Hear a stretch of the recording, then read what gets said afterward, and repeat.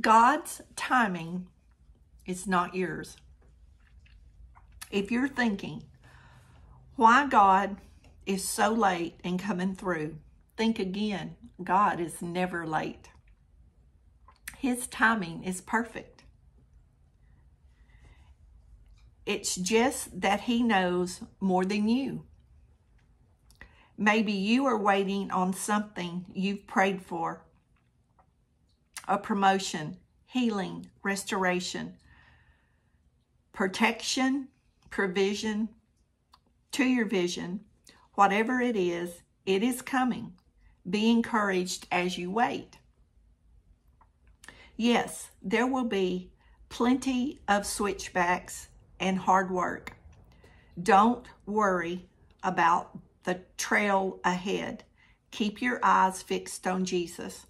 Trust in His timing. It is better than what we've defined as good timing. When you've got a God you can trust, who's aware of you and your needs, you don't have to worry about the path that you're on. Amen.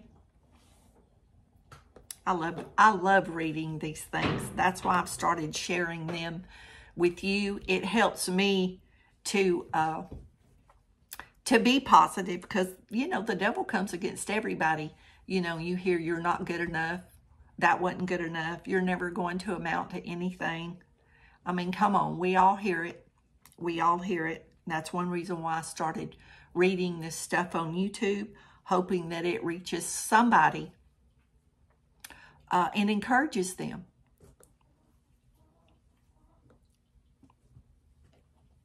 God will change you. Proverbs 19. Many plans are in, in a man's mind, but it is the Lord's purpose for him that he will stand. So, see, we all have purpose. We just have to figure out what it is. But we all have gifts and talents of some sort to work for the kingdom of the Lord. I do believe that with all my heart. We just have to uh, overcome our fears, shyness, uh, being inverted, uh, anxiety, whatever might hold us back from uh, speaking life and uh, trying to encourage somebody else.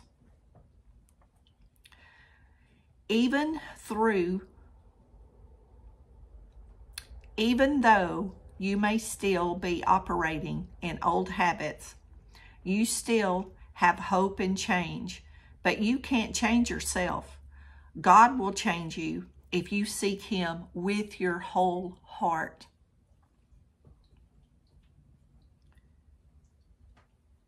And he didn't say it would be easy. So when you go in, you have to go in fighting with all you have because the devil's going to come against you because the devil doesn't want you being on God's team. And the devil is sneaky. Don't forget that. He is sneaky. He's the sly fox. He's going to slip in so be careful. Be careful what you're listening to. Be careful where you're going. Be careful who your friends are, what you're exposing yourself to, because he's going to slip in there and make you think it's the right thing. And it's not. It's not the right thing. Don't hurry, for God finishes work in your life. He wants everything we want everything to be done instantly. But God is not interested in your schedule. The enemy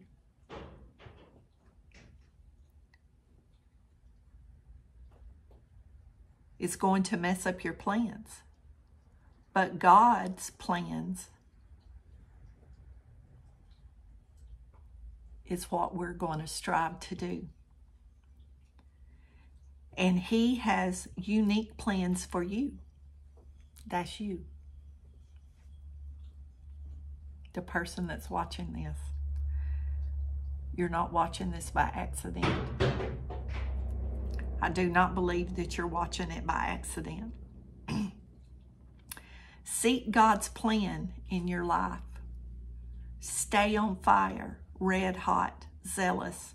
Pursue His purpose for you with every ounce of your energy. There is nothing in the world that is worth seeking more. So, you know, when you go to those concerts and you're standing on the front row, taking those pictures, boy, you're giving it all you got. You need to give it all you got for the Lord.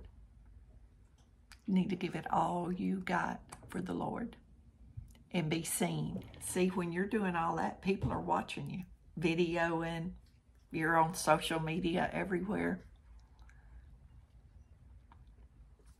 Food for thought. Y'all be blessed. Know you're loved. Don't forget to say your prayers. See you in the next video.